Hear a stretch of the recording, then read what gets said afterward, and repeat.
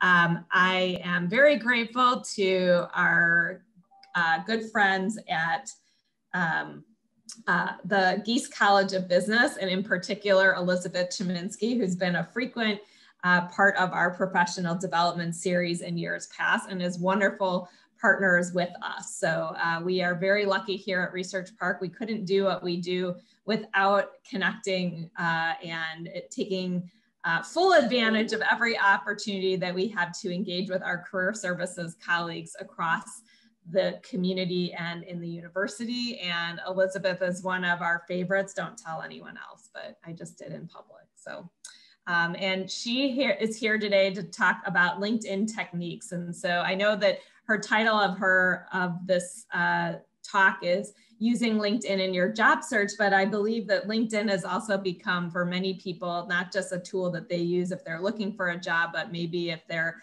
uh, building a business, if they are uh, looking to expand their networks because they are hiring themselves or for many other reasons. So there are lots of reasons to optimize. It's a LinkedIn. It's a great tool, and I'm really excited to hear what tips uh, Elizabeth says um, today. I am myself a very avid user of LinkedIn, but I know that every time I've listened to Elizabeth talk about it, I have learned something new too. So I hope that is the case here. And so Elizabeth, welcome uh, today and please take it away.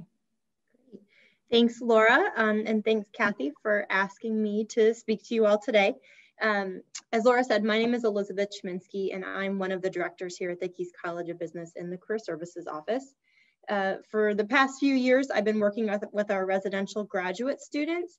And then this year, this summer, I'm transitioning into the other side of what I would call our shop. Um, and I will be the director for corporate engagement, which is working with all the companies that come here to Gies and to campus to recruit both our undergraduate and graduate students. Um, so I've worked in career services for almost nine years. Um, and I will say that, you know, I, I, enjoy the job search. The job search is scary and overwhelming for many. Uh, but when you really think about it, it's fun and exciting. You know, this is your chance to seek out new opportunities, to, to learn, to grow. And that's really what most of us you know, are looking to do over the, the decades that we're working. So I think the job search is fun. And LinkedIn is an incredible tool um, I'm I'm of the generation that watched LinkedIn um, grow and really become the platform it is. I remember when I was in business school in the mid 2000s and LinkedIn had just started, and they all told us to go in and create an account, and I didn't really know what I was doing. And then years later, here I am at U of I, and I've really come to really value, learn, and understand what this platform is and how it can help you, you know, right from the beginning, not only with your job search, but really with your networking, how you connect with people, how you learn, and how you understand how the business world uh, grows and develops and evolves. Um, and then LinkedIn has really expanded also, and I'll talk about LinkedIn Learning as well, which is a phenomenal tool. Um, but so what I'll share is, is this is a presentation that we use with our students here at the business school. Um, it's not so much about how um, how to build your profile, but it's more about how to start using it um, and, and put it to work. So it is focused on the job search, but a lot of what I'm gonna say is more focused for the passive job seeker or someone who's planning maybe to, to search in the future. Um, and it's what you can be doing now because even though you're not actively on the job market, um, I'm assuming most folks, um, you know, you plan on working for the net for a while. Um, and so these are tools and tips and things that you can do because when you are on the job market, this stuff will come in handy. Um, I'm not totally paying attention to the chat, but Kathy said that she will. So if you do have a question for me, might be easiest to, to put it in the chat and then Kathy or someone can stop me um, and I'll pause where I am in the presentation and I'm happy to take any questions you, know, you have during the presentation as it's related to the content. So to get started, um, there we go. Why is LinkedIn important? Um, it's important because it's huge. It's one of the, it is the premier professional social network. Um, it allows you to connect with millions of people across the world. Um, but as a someone who's part of the U of I community, um, it's a great way to, to really understand and see how you're connected to others here at U of I, um, and then throughout your entire life um, and how you're connecting with folks. Uh, you can do great company research on LinkedIn. LinkedIn is a great place. If you hear about an organization you've never heard about before, go to LinkedIn and you can learn a lot with just a few clicks. Um, it's definitely the job search tool. It's one of the best job boards that there's available.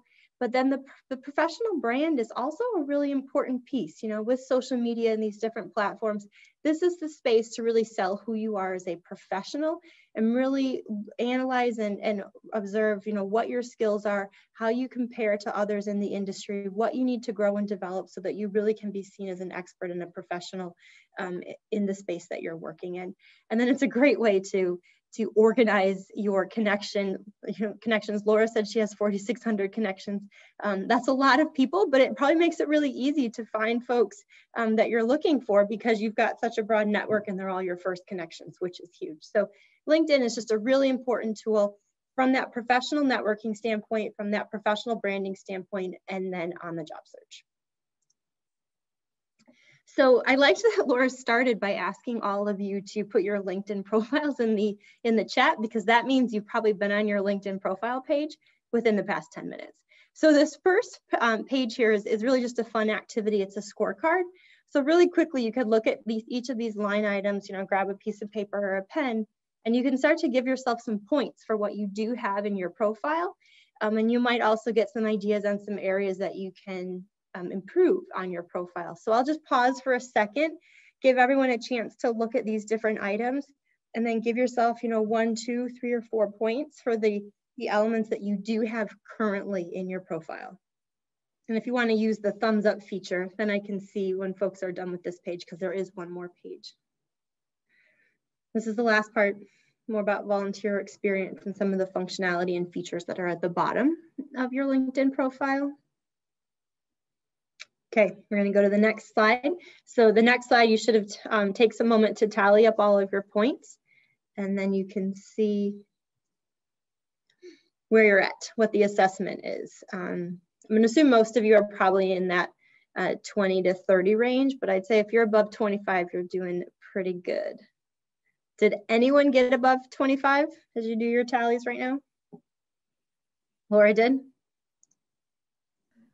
I feel like it's kind of my job to like have a optimized LinkedIn. So I'm not a good example. So do not compare yourself to me. we all just strive to be Laura. Um, Kathy will have these slides too. So if you didn't have enough time to, to do this activity, it's a fun thing to do. But so you can revisit this and um, assess your profile. But it'll give you some ideas on what you could do pretty quickly to help enhance your profile and just make it a better branding document so that when or profile so that when folks do land on on your page they really understand who you are and what it is that you do so i'm going to first talk about the summary which linkedin has changed and is now called the about section um, but this is really important uh, so if you don't have an about or a summary section, this would probably be the first thing I recommend that you do. And the reason is, is when someone goes to your LinkedIn profile, uh, this section, which is really like a paragraph or two paragraphs, is, is what they see on your page. They have to scroll down to read the rest of your content. So if this is filled out, it, it, it could be enough to grab their attention, and then they'll spend more time on your page and looking at your experience um, and your skill set. So this is just um, some suggestions. You want to be short and concise. You know, typically I'd say two paragraphs. You know, this does a nice job um, over laying out to, to describe your current situation. You know, articulate. You know, what it is that your goals are. What are your skills? What is it that you're looking to do? What have you accomplished? And then, depending on your preference, you know, you can include some personal information and interest in this summary or about section. Definitely make sure there's no spelling or grammar mistakes, but it is okay to use I statements. And this is where LinkedIn is actually really different from your resume. A resume is more formal and you would not use I statements on your resume, but you can on your LinkedIn profile. Now, this is a platform that's really meant to connect and engage um, others, so it's totally fine to use I statements. I don't recommend cutting and pasting really ever directly from your resume to LinkedIn. You definitely want to craft everything you put on here for LinkedIn and the LinkedIn audience. Uh, but if you don't have the about section, I'd make a priority to get that done. You can customize your LinkedIn profile address. So I was really quickly looking through some of the LinkedIn URLs that you put in the chat, and some of you have done this, um, and some of you have not. So again, when we're finished with this presentation, you can go onto LinkedIn and you can see the links right here where you can edit your URL and customize it. So if you have a very common name, you're gonna have to be a little more creative. But if your name is a little more unique or less common, so like myself, I'm Elizabeth Chominski on LinkedIn. It's very easy to tell someone what my, my URL is. Um, but if you haven't done this, please do. I can see that some of you have a you know random combination of, of numbers after your name. So figure out how you can make that more customized why would you do this? You do it because, it, from my perspective, because it looks nicer on your LinkedIn profile. I mean, on your resume, um, you can put that LinkedIn profile there on your resume, and it looks really nice. And it's just easier for you and other people to remember. So it's it's more concise. Okay, so we're going to talk a little bit more about networking. So who to connect with. Um, when we talk with students in our office, this is always a space that they're a little unclear about. Um, and so I recommend you connect with real people. You connect with real people who you like, real people who you respect, and real people who you definitely want to keep in touch with and know. So this could be definitely your classmates and other students, professors, faculty members, uh, folks who work at the university, uh, like Laura and myself, um, recruiters, HR managers, um, alumni, other professionals, you know, if you are working part-time or full-time, your colleagues, um, anyone you know from, from the organizations that you're affiliated with. Um, and your friends, your friends and family. Um, in particular, you know, your friends and family are, they're out there working, you know, they know people who within their firms, they went to different universities. Don't look just at, at um, you know, who's around you today, but also think about your cousins and your family and friends, um, even like friends from high school or that you knew from childhood. They're great people to be connected with. Um, if you don't know someone, you don't need to connect with them unless you have some connection or affiliation. Maybe you went to the same summer camp, even though you weren't there at the same time. Maybe it is of a friend of a friend, someone who you haven't met before, but you know that they're a reputable individual. Go ahead and connect with them. But if it's someone that you can't articulate why they would be reaching out to you, then you can choose to not connect with them and it's totally fine. Um, the LinkedIn open networkers. So I just I told you to, to avoid those individuals, but don't you yourself fall victim of doing that. Don't just go on to LinkedIn and just connect with anyone just because they work at a company that you're interested in. Um, when you log into LinkedIn, LinkedIn will suggest people that you may or may not know. Don't just connect with everyone that LinkedIn tells you to connect with. Um, really, again, be strategic and be intentional um, and you know, you can look at who your second level connections are in particular, because those are people who know people that you know directly. And so maybe those are individuals that you have more common interest with, or you're somehow loosely connected and you might want to connect with those individuals. But whenever you do that, you always must add a message. Um, LinkedIn is a little bit tricky because when you go to connect, it has that really generic let's connect message. I encourage you to always change that, always personalize it, always make it unique to yourself. Even if you're trying to connect with Laura or me, please personalize the message. Um, there are times that you know students or others affiliated with the university will send me that really generic message and I won't accept it because I don't really know who they are. Are they enrolled in the programs? You know, are they even a student here at U of I? I don't know. But then if you tell me that you're an incoming Gies student, then I'm much more likely to connect with you because I know who you are and you're part of this community that I'm part of. Um, if you are looking for connections, say maybe you went to a different undergrad institution and you want to find other folks that went to that university, um, LinkedIn has a great search tool. So you can look for individuals who live in a certain city, went to a university, um, work at a certain company, are in a certain function, and you can start sorting people on LinkedIn and seeing how who you're, um, you know, one or two steps removed from. Um, this is really great when you are job searching um, or when you're just looking to gain knowledge or insight or better understand the industries that you're either working in or looking to work in. So it is pretty easy to find new connections and that's really the, the point of LinkedIn. Um, so use this functionality to the best of your ability. LinkedIn is a very strong and very nice alumni tool. So if you did go here, you are here attending U of I, or you did go to U of I, or you went to another university, um, you can go onto the university pages and start to really search where our alumni live, where they work, what they do, and it, it makes it really easy to find alumni. So if you haven't used this tool, um, definitely seek it out.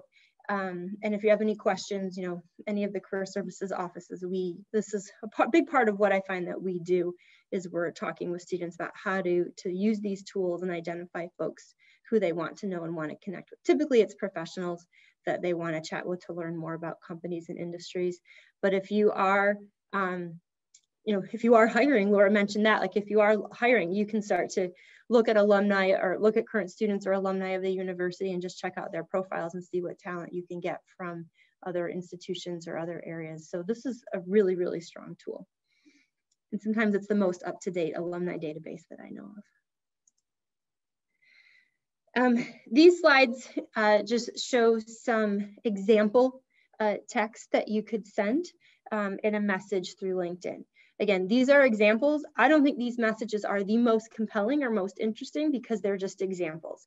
Only you yourself can really craft a, a message that is compelling and that is going to get someone excited to respond to you. I don't ever recommend, you know, drafting a really generic couple sentences and then blasting that out to the 30 people that you found on LinkedIn. You really, really need to be thoughtful in the message that, messages that you send through LinkedIn. Make it very clear why you're reaching out, um, what the point is, and why it would be valuable for you or that individual for you guys to connect. Um, so this is this is an example, and I'm not an example of the best um, message that could be sent. We don't do that. You have to craft your own messages, um, but it's a, a, good example of a short and brief message. Um, and some of these are like pre-COVID. This this presentation is not um, unique to this more virtual world that we're living in. You know, this is also thinking about like if you met someone a couple weeks ago at an event, how you would reach out to them through LinkedIn. And this is if you're on groups on LinkedIn, which I haven't talked about much, but I'm assuming most of you know that organizations and entities can have groups. And so you can join that group um, and then connect with those individuals that are part of the group. So like alumni groups, um, alumni of different companies, that's actually really popular on LinkedIn is people who used to work at an organization but want to stay connected even though they've moved on to other opportunities. Um, even like groups from high schools have, have, have those types of groups. And then professional organizations, you know, depending on what industry you work in, there's definitely a professional organization or probably multiple organizations that have a group on LinkedIn. Um, and so you can connect with people through those tools. And then an example, if you just don't know someone, but you still want to connect with them, what you would say. Talk a little bit about job searching. Um, and this is, again, tools that you can kind of be put in your back pocket and probably use in the future. Um, so LinkedIn has a, a jobs um, tab. So I'm sure you've all looked at it, but jobs is, is right there.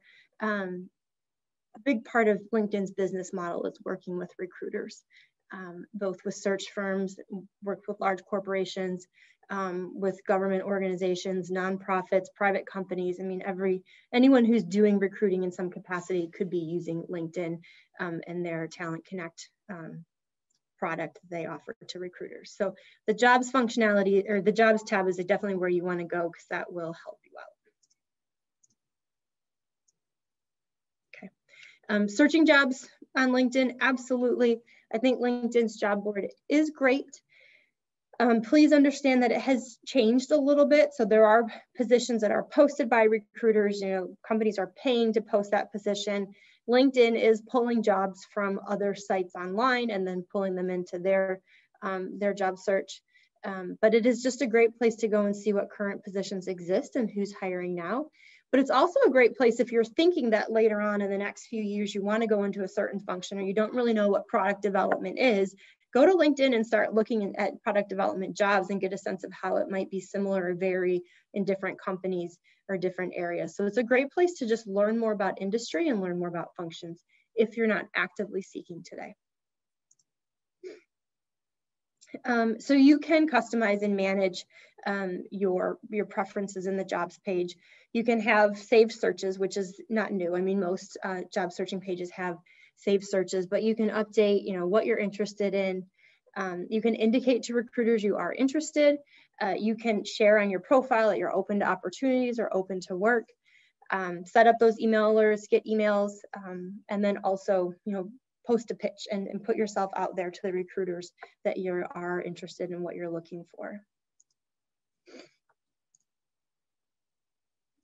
so it's this functionality. If you go into your LinkedIn profile, um, open to work, can see details and you can um, manage it all through this pencil. Oh, there we go. Okay. Um, and you can be more uh, customized in who sees that you're open to work. You can make it open to everyone, or maybe it's just recruiters who are using that recruiter product. So if you are, you know, working full time and don't really want your employer to know that you're actively seeking or maybe passively seeking, LinkedIn does respect your privacy in that sense. Um, researching companies, I kind of already alluded to this, but all companies have a LinkedIn page. Um, they probably use it to share a lot of news and updates. So if you are interested in companies or a handful of companies, you can follow those organizations. You can get their news updates in your feed. Um, and then obviously you can explore and find out who works there, um, where they went to school and, and learn more about their job and if they're active or not on LinkedIn. And that's one thing to, to always remember when you're on LinkedIn is not everyone is active. Even though they have a profile, they might not be using it daily.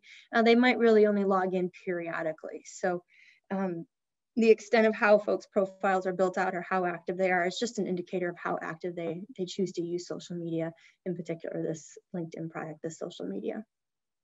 One of the nice functions of, of LinkedIn is I like when people get promoted or um, the work anniversary. So if you're actively using LinkedIn and you scroll through, you can see which of your friends, you know, either did receive a promotion um, or if they've been at their company for 10 years and then you'll see everyone congratulates them. But it's nice to just get those updates um, and it helps to stay engaged and feel connected with people that you don't engage with or converse with on a daily basis. Um, so LinkedIn has a lot of new features and functionality. Um, you can manage a lot of your preferences. You can, um, you know, change all the time who you want to follow and unfollow, hide posts that aren't relevant. Um, you know, report any inappropriate content or make sure that you're not getting a lot of marketing or, um, you know, spam that comes your way.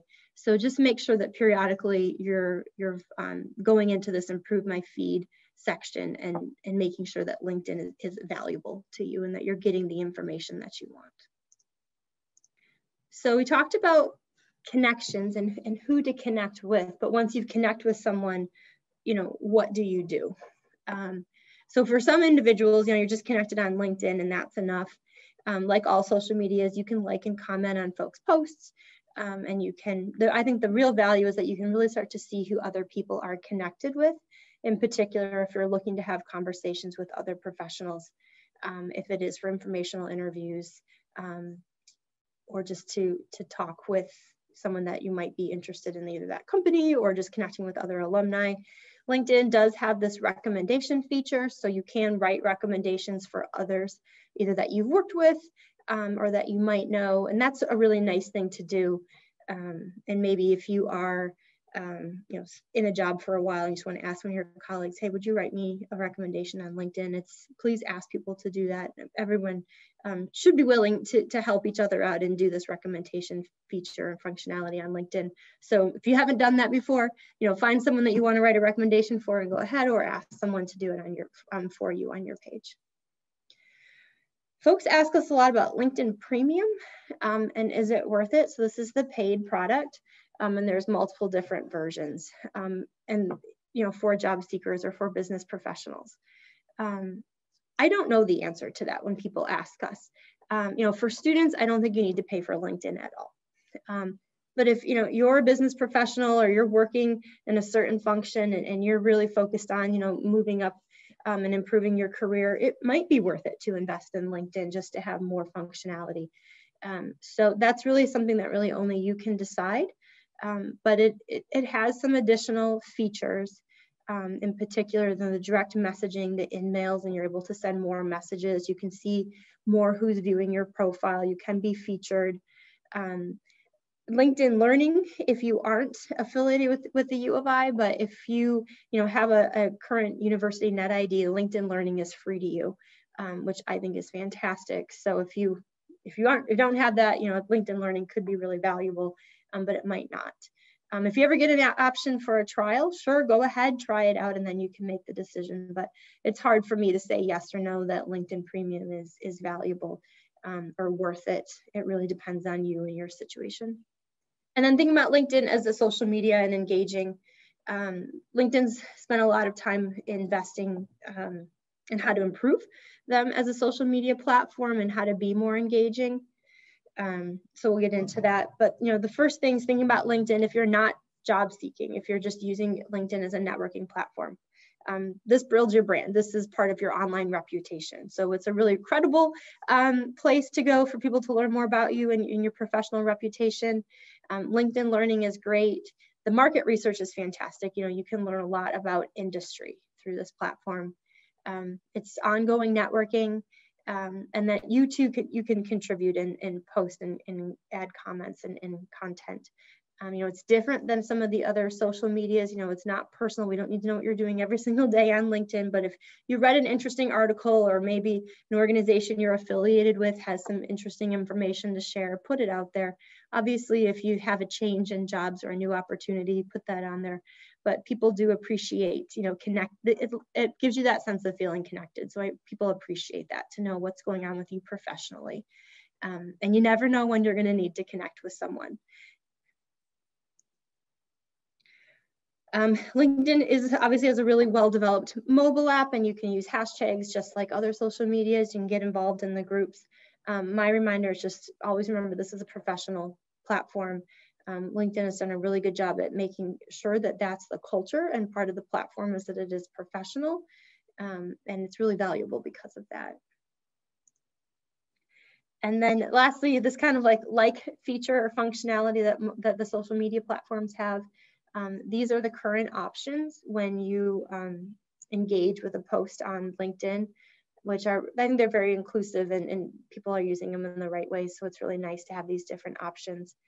Um, the, the, direct messaging is a fe feature that has really can come in handy because when you connect with someone, if then you can send like a little message, but it's, it has a character limitation. So once someone's the first connection, then you can send direct messages to them. But if you're trying to connect with someone who's not your first connection, who's a second or third connection, um, that can be hard because you you don't have you're not able to. Um, so that's the one place you know where that premium can come in handy. But the direct messages with first connections are great. I mean, it's, it's essentially email. Um, so that's one of the main reasons why you'd want to connect with someone as a first connection because then you can message them you know, whenever it's relevant or whenever you need to. Um, and so this is the end of what I have prepared to share with all of you.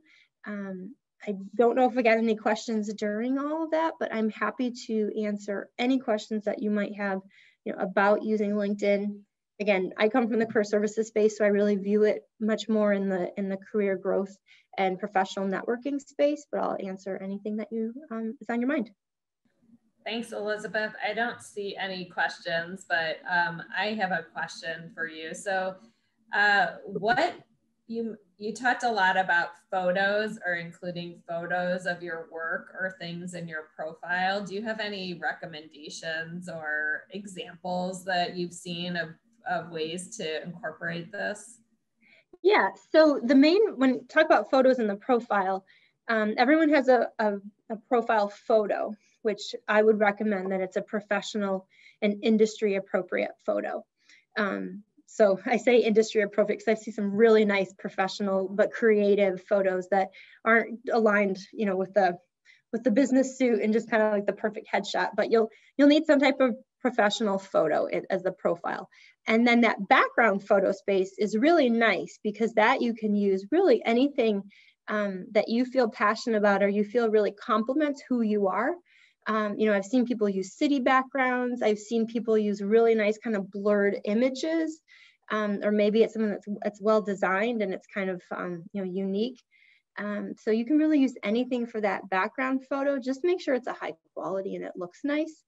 Um, and then depending on, you know, if you work more in the creative space, um, you can, you know, your activity, you can post different things that you've done. You can link it back to maybe a certain website or portfolio that you manage. Um, so you can put all of that in your profile that links back to other creative or interesting things that you've done, um, videos that you've made, whatever it might be. So we had a question about where to get a professional headshot. And actually, I'm just today working on scheduling. Uh, we haven't done this in a couple of years, but since we're now back in person, we will be scheduling a Research Park professional photo day. So to get you all those uh, headshots, but um, if that probably won't happen for uh, several more weeks. So if there are um, you know, other ways to do this. Honestly, you know, I think a just using your port, having somebody, if you have an iPhone that has the portrait feature, you can take some very nice portrait uh, photos using the portrait feature that are good enough until you can get a more quote unquote professional version. Yeah, I would agree with that, Laura, that with the computers that we all carry around in our pockets, you can accomplish this just fine.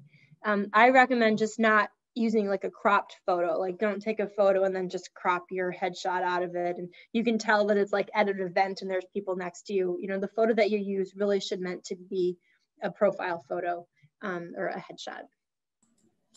Uh, I saw you had some examples of um, ways to connect with people. Can you give an example of maybe something you've seen that wasn't so cool that you've seen when people have connected? Yeah, so um, one example that we get often in our office, and I'm always a little embarrassed for the students that send this, um, you know, we're serving students and students will send very formal messages and sometimes use um, titles that aren't correct. So like I'll get a message that's like, dear professor, and then it's just something generic and it's not me, I'm not a professor. And so we get that a lot, like myself and other folks um, in the college that um, individuals are sending much more formal messages or connection requests and not using the correct titles. And that um, doesn't go over well. I just, it, you know, it's like you haven't looked at the profile first. Yeah, Emily says I've encountered a lot of people trying to connect with me and then trying to sell me things. Yeah, I, I get this a lot. Like, oh, use this service, or you know, yeah. I want to meet with you to discuss this thing I want to sell you. It's like, yeah, no.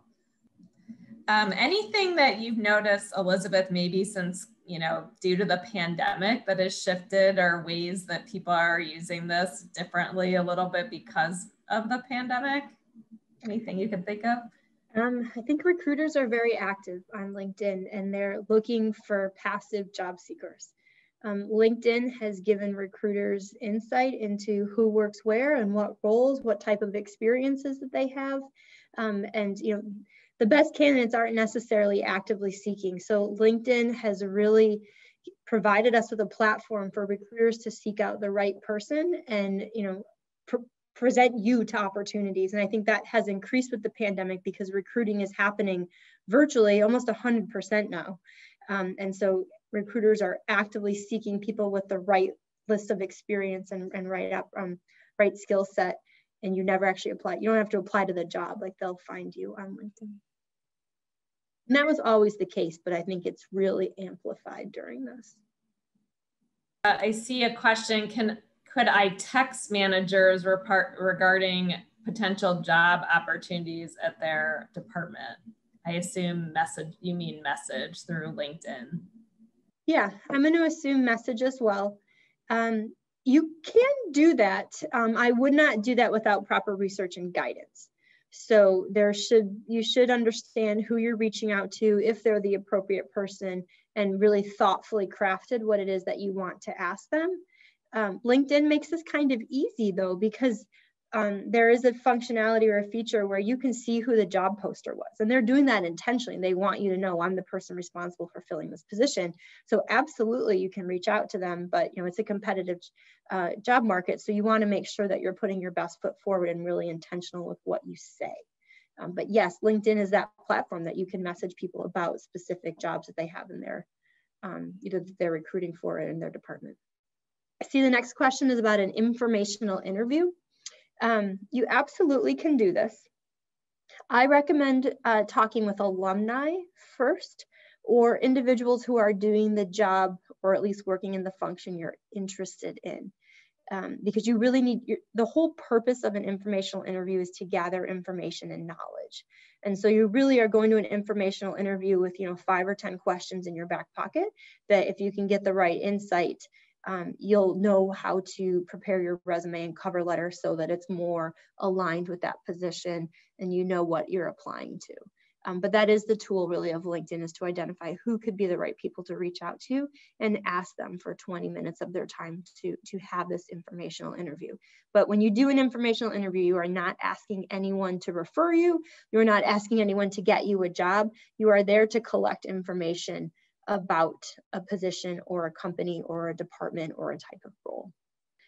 And I will add that any, if any of you are students on this campus and you're going to do exactly this, this is where I would recommend chatting with career services first um, because you really only get one shot. And so you want to make sure that what you're sending over and what you're asking for um, is, is, appropriate. And then you, you should get a great response and have a good opportunity to, to do an informational interview.